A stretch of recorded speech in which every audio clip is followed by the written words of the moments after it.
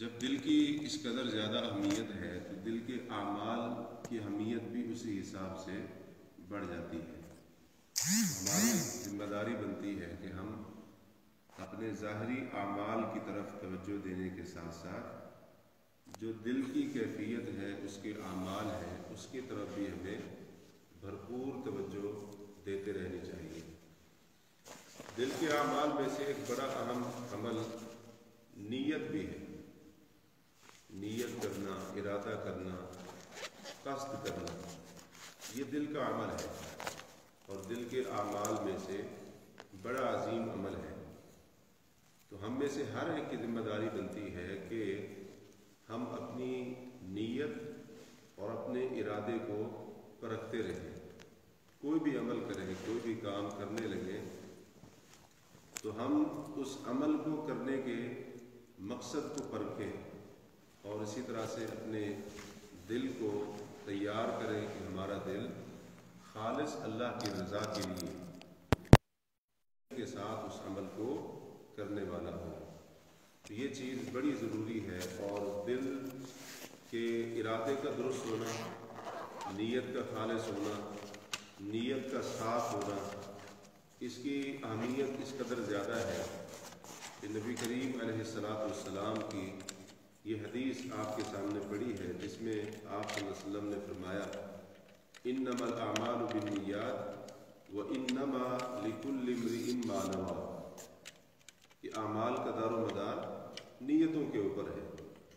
यानी अगर करने वाले की नीयत अच्छी थी, दुरुस्त थी तो अल्लाह तबारक वाली उसके अमल को कबूल फरमाएगा। और अगर करने वाले की नीयत अल्लाह की रज़ा के अलावा कुछ और थी अमल तो उसने किया, इबादत नेकी की, काम भी किया, लेकिन उसका मकसद कुछ और था। अल्लाह को राज़ी करना नहीं था। चाहे वो दुनिया का असूल हो, वो दिखाना हो, वो अपनी तारीफ़ सुनना हो, वो लोगों के दरमियान मशहूर होना हो, शोहरत पाना हो तो जो भी उसका अमल हो, जो भी उसकी नीयत हो, उसके मुताबिक अल्लाह ताला उसको बदला ता फरमाएगा। व इन्नमा लिकुल्लिम्र इम्मा नवा और हर इंसान के लिए वही है जिसकी वो नीयत करता है और जिसका वो इरादा करता है। तो नबी सल्लल्लाहु अलैहि वसल्लम ने इन अल्फाज के अंदर नीयत की अहमियत को बयान फरमाया है। तो ये जो इंसान की नीयत है, अगर हम इसको अच्छा कर लें तो इस अच्छी नीयत के ज़रिए हम बहुत से फ़वाद हासिल कर सकते हैं। जिनमें से सबसे पहला और बुनियादी फ़ायदा ये है कि नीयत अच्छी होगी तो हमारा अमल कबूल होगा अल्लाह ताला के यहाँ। नीयत अच्छी होगी, खालिश होगी तो अल्लाह ताला के यहाँ वो अमल कबूल कर लिया जाएगा। और अल्लाह ताला उस अमल करने, उस अमल के ऊपर, अमल करने वाले के ऊपर राज़ी हो जाएगा। और अगर नीयत अच्छी नहीं होगी, खालिश नहीं होगी तो अमल कितना बड़ा ही क्यों ना हो, वो अल्लाह ताला के यहाँ कबूल नहीं होगा। वक्त के एक बहुत बड़े मुहदस गुजरे हैं। अब्दुल्ला बिन मुबारक रहमा उनका नाम है। वो फरमाते हैं, रुब अमलिन कबीरिन तसगिरनिया कि बहुत से ऐसे अमल होते हैं जो बहुत बड़े होते हैं, लेकिन नीयत उनको बहुत छोटा बना देती है। वह रुब अमलिन सगीरिन तो कब्बिर हो तो अदिब हो और बहुत से ऐसे अमल होते हैं जो बज़ाहिर मामूली होते हैं। देखने में छोटे नज़र आते हैं, लेकिन नीयत उनको बहुत बड़ा बना देती है। यानी बाज़ दफ़ा बड़ी बड़ी बातें होती हैं, लेकिन नीयत के दुरुस्त ना होने की वजह से उनकी कोई हैसियत नहीं रह जाती। और बसा अवकात एक मामूली सी नेकी होती है, छोटा सा अमल होता है, लेकिन करने वाला खालिश उसको अल्लाह की रज़ा के लिए करता है तो उसकी ये सच्ची और खालिस नीयत उसकी इस छोटी नेकी को बहुत बड़ा बना देती है और अल्लाह ताला उसके ऊपर अजर अजीम अता फरमा देता है। तो ये है नीयत। नीयत खालिस होगी, अल्लाह ताला के अमल कबूल हो जाएगा। नीयत खालिस होगी, छोटे अमल भी उनके ऊपर भी बहुत बड़ा अजर सवाब मिलेगा। और अगर नीयत खालिस नहीं होगी तो बड़े बड़े अमाल भी अल्लाह ताला के यहाँ बेकार और ज़ाय करार दिए जाएँगे। एक शख्स आता है नबी सल्लल्लाहु अलैहि वसल्लम के पास। उसने आकर सवाल किया कि अल्लाह के रसूल सल्लल्लाहु अलैहि वसल्लम एक बंदा है, वो जिहाद के लिए निकला है, दुश्मन से लड़ने के लिए निकला है। अब देखें, अल्लाह के रास्ते में जिहाद करना, ये बहुत बड़ा अमल है। बड़ा अजीम अमल है इस्लाम के अंदर। बड़े इसके फ़जाइल हैं और इसी तरह से बहुत ज़्यादा इसके ऊपर खुशखबरियाँ, बशारतें अजर सवाब मौजूद है। लेकिन उस शख्स ने कहा कि अल्लाह के रसूल को जिहाद के लिए तो निकला है, लेकिन उसका इरादा है कि उसको गनीमत भी मिल जाए और शोहरत भी मिल जाए। सिर्फ़ ये दो मकसद लेकर, ये दो इरादे लेकर वो जिहाद के लिए निकला है। शोहरत पाने के लिए, माल गनीमत पाने के लिए। माल उसको क्या मिलेगा? उसके लिए अजर है या नहीं? है सवाब मिलेगा, नहीं मिलेगा? तो नबी सलाम ने फरमाया, ला शई अलहू उसके लिए कुछ भी नहीं। हालाँकि कुरान के अंदर है कि जब बंदा अल्लाह के रास्ते में निकलता है तो एक एक कदम के ऊपर उसको अजर मिलता है, सवाब मिलता है। और इसके अलावा और भी बहुत से फजाइल हैं उस बंदे के, जो अल्लाह ताला के रास्ते में निकलता है, अपना माल लेकर, अपनी जान लेकर, और अपनी जान को कुर्बान करने के इरादे से निकलता है। इतना ज़्यादा उसकी फजीलत है, लेकिन इतने बड़े अमल को भी नीयत की खराबी ने क्या कर दिया? आप हमारे लाश है उसके लिए कुछ भी नहीं। उस बंदे ने बार बार सवाल को दोहराया। तीन मरतबा यही सवाल दोहराया। नबी सल्लल्लाहु अलैहि वसल्लम हर बार कहते रहे लाशैया उसके लिए कुछ भी नहीं है। तीसरी मरतबा नबी सलाम ने यह चौथी मरतबा, ये उसूल ही बता दिया फरमा इन अमली खालिसा। कि अल्लाह ताला उसी अमल को कबूल करता है, जो खालिस उसी की रजा के लिए किया जाए। वब ही वजह, और जिससे अल्लाह की रजा तलाश की जाए, अल्लाह सिर्फ़ उसी अमल को कबूल करता है। और अगर नीयत खालिस ना हो, अल्लाह की रजा हासिल करना मकसूद ना हो अमल करने वाले का तो जिहाद फ़ी सबील जैसा अजीम अमल ही क्यों ना हो नबी सलाम ने फरमाया कि इसके ऊपर कुछ भी उसको मिलने वाला नहीं है। अल्लाह के रास्ते में हिजरत करना, घर बार को, वतन को सब कुछ छोड़ देना, जायदाद, माल सब कुछ कुर्बान कर देना, बहुत बड़ा अमल है। बड़ा ही अजीम अमल है।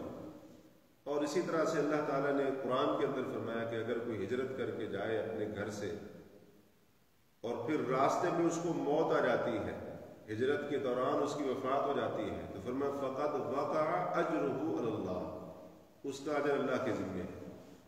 अल्लाह ताला उसको कितना अजर देगा, किसी को मालूम नहीं बेहिसाब अजर अल्लाह रब्बुल उसको अता फरमाने वाला है। और ये हिजरत इतना अजीम अमल है कि एक हदीस में आता है, आपने फरमाया कि हिजरत पिछले तमाम गुनाहों को ख़त्म कर देती है। अगर कोई बंदा उस इलाके को छोड़ देता है जहाँ पर कुफर है, जहाँ पर शिर का गलबा है।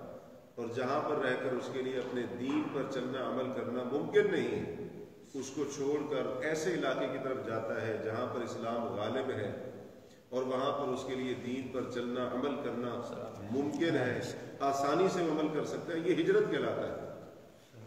अब अपने इलाके को छोड़ना, कुर्बानी देना, ये कोई छोटी बात नहीं होती है। बहुत बड़ी बात होती है, इसलिए उसके ऊपर अजर भी इतना बड़ा रखा गया है। गुनाहों की मुआफ़ी है, बेहिसाब अजर है, इसके अलावा और भी बहुत से फ़जाइल इसके मौजूद हैं।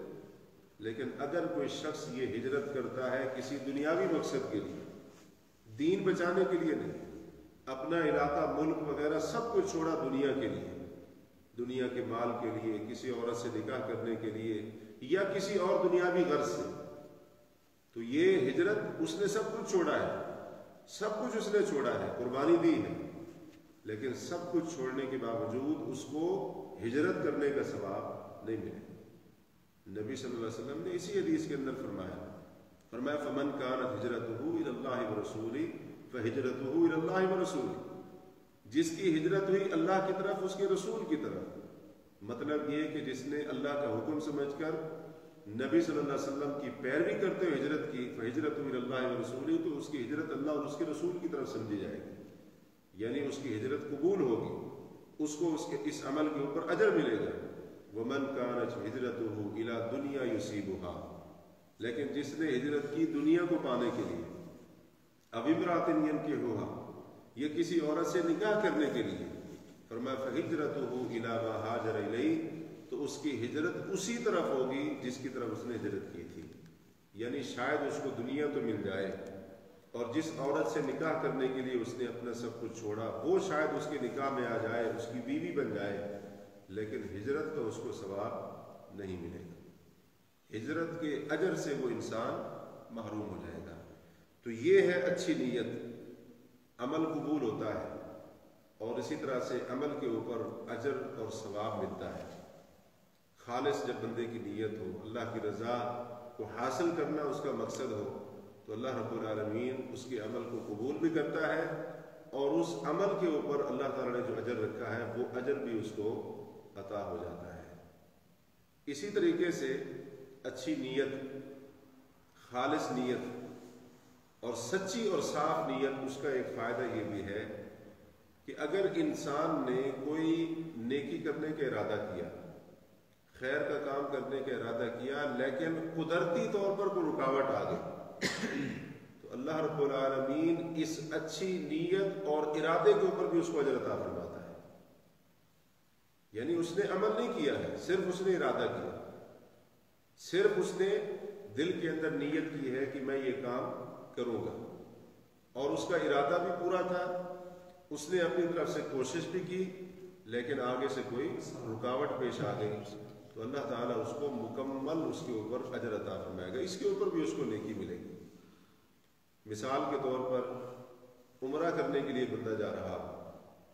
अब वो इरादा भी है उसका, और इसी तरीके से उसने सवारी का इंतज़ाम भी किया, मक्का बैतुल्ला तक पहुँचने का इंतज़ाम भी किया। लेकिन कुदरती तौर पर ऐसा हुआ कि वो अपने इलाके से, घर से, शहर से निकला, थोड़ी दूर जाकर उसकी गाड़ी खराब हो गई। अब गाड़ी भी ऐसी खराब हुई कि अब वो सफ़र नहीं कर सकता है। उसको वापस आना पड़ा। नहीं जा सका वो। तो अल्लाह तबारक वाली इस इरादे के ऊपर भी उसको अजर अता फरमाएगा एक हदीस है, हदीस कुदसी, यानी अल्लाह ताला ने उसके अंदर कुछ बातें कही हैं। एक बात उसके अंदर ये भी है फरमा मन हम बिहसनतिन फलम या अमल जिस बंदे ने नेकी का इरादा किया लेकिन उस नेकी को कर न सका। कोई ऐसा मसला बना? इरादा उसका नेक था, पक्का था, लेकिन कोई रुकावट आ गई। कोई ऐसा मसला बना वो नेकी ना कर सका। अल्लाह ताला ने फरमाया कि उसके लिए एक नेकी लिख दी जाती है। इरादा करने की वजह से, नीयत के अच्छा होने की वजह से, उसका जो जज्बा था, उसकी जो तड़प थी, उसकी वजह से एक नेकी लिख दी जाती है। लेकिन फरमाया, अगर कोई शख्स गुनाह करने का इरादा करे, गुनाह करने का इरादा करे, लेकिन गुनाह का इरादा करने के बाद उसने इरादा तर्क कर दिया, छोड़ दिया। अल्लाह का खौफ आ गया, किसी ने समझाया, समझ गया, वो डर गया तो फरमाया, उसके ऊपर एक गुनाह भी नहीं लिखा जाता है।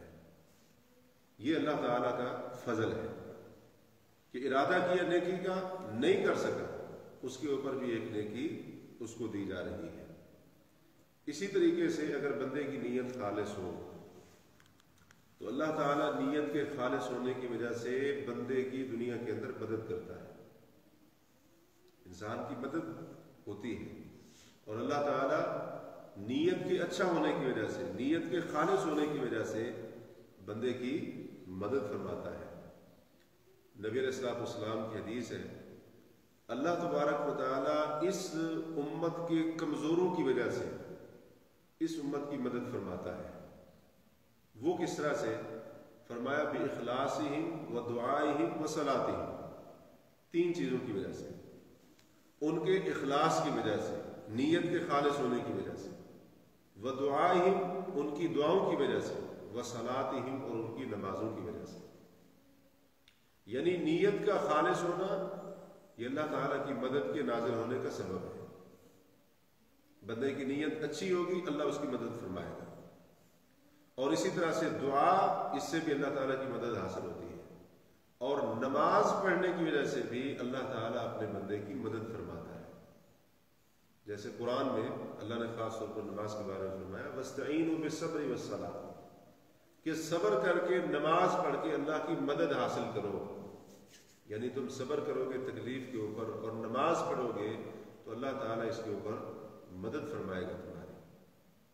नबी सलाम की हदीस है कि मन अखदा अमवाल अंदास जिसने लोगों का माल लिया, यानी बतौर कर्ज, अगर किसी से माल लिया, युरीद अदा आहा उसकी नीयत ये हो कि मैं कर्ज को वापस कर दूँगा। कर्ज को वापस कर दूँगा, अदा कर दूँगा। जब भी अल्लाह ताला मुझे तोफीक अदा फरमाएगा, मेरी माली हैसियत दुरुस्त हो जाएगी तो मैं ये कर्ज लौटाऊँगा। नबी वसल्लम फरमाते अल्लाह उसकी तरफ़ से वो कर्ज अदा कर देगा। क्या माना? यानी अल्लाह ताला उसके लिए रिस्क के रोजी के ऐसे वसाइल आसान कर देगा कि उसके पास इतनी हैसियत हो जाएगी कि अल्लाह ताला उसको कर्ज करने की, कर्ज अदा करने की तोफीक अदा कर देगा अब देखें ये अल्लाह की तरफ़ से मदद हासिल हो रही किस बिना पर? उसकी नीयत ये थी, इरादा ये था कि मैं इस कर्ज को वापस कर दूँगा। और फरमाया मन अखदा मुआलनास युरीद लेकिन जिसने लोगों का माल लिया, उसको हड़प करने के लिए, लोगों से कर्ज लिया, वापस ना करने की नीयत से फरमाया अतरफ़ल्लाह ताला अल्लाह ताला उसको तबाह बर्बाद कर देगा। तो ये नीयत है। नीयत उसकी अदा करने की थी, फरमाया अल्लाह तबारक वाली उसकी तरफ़ से अदा कर देगा। यानी उसकी मदद फरमाएगा और उसको कर्ज वापस करने के काबिल बना देगा। और नीयत वापस ना करने की थी तो फरमाया अल्लाह ताला भी उसको तबाह बर्बाद कर देगा। एक और हदीस में आता है, आप वसल्लम ने फरमाया तीन बंदे ऐसे हैं जिनकी मदद करना अल्लाह का हक बनता है। हालाँकि मखलूक का अल्लाह के जिम्मे को हक नहीं है। लेकिन अल्लाह तबारक ने इन तीन बंदों की मदद करना अपने ऊपर गोया के हक ठहरा लिया अल्लाह का हक बनता है उन तीन बंदों की मदद करना। पहला बंदा फरमाया अन्ना के उन्नदी युरीदुल अफाफ। वो निकाह करने वाला, शादी करने वाला, जिसका निकाह करने से इरादा हराम और गुनाह से बचना। नीयत इसकी ये, उसकी ये थी कि मैं शादी करूँगा और शादी के ज़रिए पाकदामी इख्तियार करूँगा निकाह मैं इसलिए कर रहा हूँ ताकि मैं गुनाह से बच सकूँ। मैं हराम से बच जाऊँ। जिना बदकारी से मैं अपने आप को बचा लूँ, महफूज कर लूँ तो फरमाया अल्लाह का हक बनता है इस निकाह करने वाले की मदद करना। दूसरा, वो गुलाम है जिसने अपने मालिक के साथ ये तय किया कि मैं आपको इतने पैसे दूँगा। आप मुझे आज़ाद कर दें। और उसका इरादा यही था कि मैं अपने मालिक को वो रकम अदा कर दूँगा। तो फरमाया, अल्लाह ताला इसकी भी मदद करता है और इसकी मदद करना अल्लाह का हक बनता है। क्यों? अब देखें, ये नीयत की वजह से होगा। उसकी नीयत क्या है? अदा करना। अल्लाह की मदद हासिल हो रही है और तीसरा फरमाया, वो शख्स है जो अल्लाह के रास्ते में जिहाद के लिए निकलता है। अल्लाह का हक बनता है कि अल्लाह ताला इसकी मदद तो नीयत अच्छी होगी, अल्लाह ताला की मदद हासिल होगी। अल्लाह की मदद नाजिल ही इखलास की बुनियाद पर होती है। जितना हम रब के साथ मुखलिस होते जाएँगे और कोई भी अमल, इबादत का काम करते हुए हमारी नीयत जितनी खालिश होती जाएगी, अल्लाह ताला की तरफ़ से मदद भी उसी एतबार से नाजिल होती जाएगी। तो पूरी बात का खुलासा ये हुआ कि हमें अपनी नीयतों की तरफ़ भी तवज्जो देनी चाहिए। और हम कोई भी अमल करने लगे, कोई भी इबादत का काम करने लगे तो उससे पहले हम अपनी नीयत को खालिश कर लें, दुरुस्त कर लें। नीयत अच्छी होगी, उसके बड़े फ़ायदे हैं। और नीयत अगर दुरुस्त नहीं होगी, और नीयत अल्लाह को राज़ी करने और खालिश अल्लाह की रज़ा हासिल करने की नहीं होगी तो फिर उसके नुकसान भी बहुत बड़े बड़े हैं। अल्लाह ताला से दुआ है, अल्लाह ताला हमें अपनी नीयतों को दुरुस्त करने की तोफ़ी अता फरमाए। अल्लाह रब्बुल हमें अपने तमाम आमाल अपनी ज़ात के लिए खालिश करने की तोफ़ी नसीब फरमाए। कबूल को लिहाजा वस्तफ़िर